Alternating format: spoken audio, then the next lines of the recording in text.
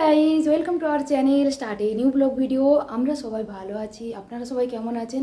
আশা করব আপনারা সবাই খুব ভালো আছেন। সোনু গেছে স্কুলে, বাবু গেছে অফিসে। সকালের কাজ অনেকটা কমপ্লিট।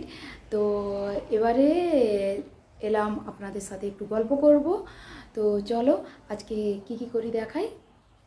সোনু এসে খাবে, আমিও লাঞ্চ করব। তার জন্য বানালাম রাইস প্লেন সাদা রাইস আর ডাল। আর সঙ্গে আছে কাঁকরোল ভাজা, উচ্ছে ভাজা, আর আছে কুঁদরি ভাজা। আর একটা রুটি বানালাম আমার জন্য। তো সোনু এলে আর একটা ডিম ভেজে নেব। ডাল আর ডিম ভাজা হলে হয়ে যাবে। ও বেশি ভাজা খেতে ভালোবাসে, তাই আমাকে বলে গেছিল, মা, আজকে কুঁদরি ভাজা মাস্ট করবে। কাঁকরোল ভাজাটা ওর আর আমার দুজনের খুব ফেভারিট তাই কাঁকরোল একটু ভেজে নিলাম। আয় আয় আয় আয় আয়, যাবি না? দিদিকে আনতে যাবি না? চ হ্যাঁ? আর আজকে বৃষ্টি নেই, আজকে খুব রোদ উঠেছে। চলো, বাইরেটা আপনাদেরকে একটু দেখাই। খুব সুন্দর রোদ উঠেছে বাইরে একদম অনেক দিন পরে আজকে রোদের দেখা পাওয়া গেল। সূর্যি মামা এলো অনেক দিন পরে। তো রেডি হয়ে গেছি, যাব সোনুকে আনতে। তো চলো, নিচে যাওয়া যাক। এই ডোডো, তুই যাবি? তুই কি যাবি? তুই কি যাবি? দিদিকে আনতে যাবি? তো আয় fast fast fast come come come come এসো, যাবে যে। আমি চাবি নিয়ে নিলাম। দেখ ডোডো চুপচাপ বসে আছে। এবারে আমি যেই চাবি নেব, ও চাবির শব্দ শুনতে পেলেই রেডি হয়ে যাবে। কি রে? কি হলো? হ্যাঁ? মাম্মা, আমাকে দাও। ব্যাগটা দাও। আয়, ডোডো। ডোডো, আয়। এখানে বসে গেছে, পড়তে। তার হোমওয়ার্ক কমপ্লিট করবে।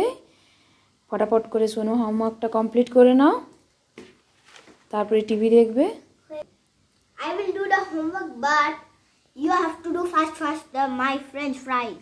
Okay go fast! তো আমি চলে এলাম এখন একটু ফ্রেঞ্চ ফ্রাই ভেজে দেবো সোনুকে এখানে ফ্রেঞ্চ ফ্রাই ভেজে নিলাম সোনুর জন্য এটাকে তুলে নেই। রেডিমেড ফ্রেঞ্চ ফ্রাইয়ের প্যাকেট কিনে এনেছিলাম। আমি ওইটাকে জাস্ট গরম তেলের উপরে দিয়ে পাঁচ থেকে সাত মিনিট লাগে, তার মধ্যেই ফ্রেঞ্চ ফ্রাইটা রেডি হয়ে যায়। বেশি সময় লাগে না। আর সোনুর খুব ফেভারিট ফ্রেঞ্চ ফ্রাই ও খুব ছোট থেকে ফ্রেঞ্চ ফ্রাইটা খুব পছন্দ করে। এসো, ডোডো ডোডো যে ফ্রেঞ্চ ফ্রাই তুমি খাবে তো? দিদির সঙ্গে? খাবে তো? এসো এসো, চলে এসো চলে এসো। ডোডোরও খুব পছন্দের ফ্রেঞ্চ ফ্রাই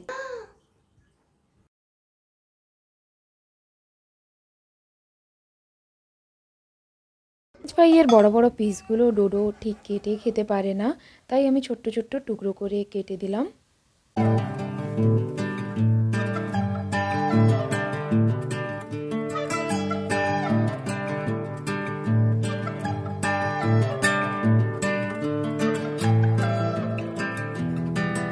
বাইরে আকাশে দেখলাম খুব সুন্দর রামধনু উঠেছে।